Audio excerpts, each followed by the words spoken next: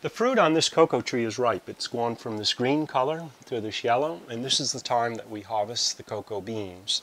So what we do is we simply take our pruning shears and snip it off like that, and there we have our cocoa pod.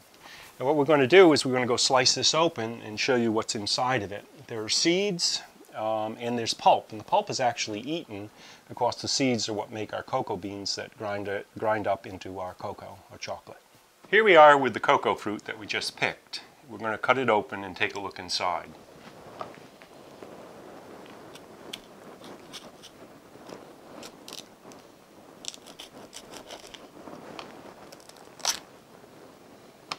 Here we have the interior of the cocoa fruit. You can see the thick rind. These are the cocoa beans that are inside it. And they have a pulp on the outside that is edible. It's kind of a soft white pulp. Has a sweetness to it. This fruit you can take and eat the outside pulp and then when the seeds um, can be used to make cocoa, generally what they do is you take the seeds out and you need several of these fruits, usually probably four or five, maybe six, depending upon how many seeds are inside.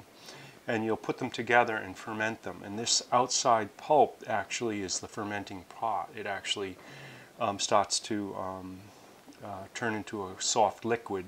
And that actually is what changes the cocoa, raw cocoa seed into the cocoa that we eat. If you take one of these seeds out and you cut it open, you see inside here we have a cocoa bean, which is actually brown or purple like chocolate. And this um, would be fermented, then washed, and then dried, and that gives us the raw cocoa.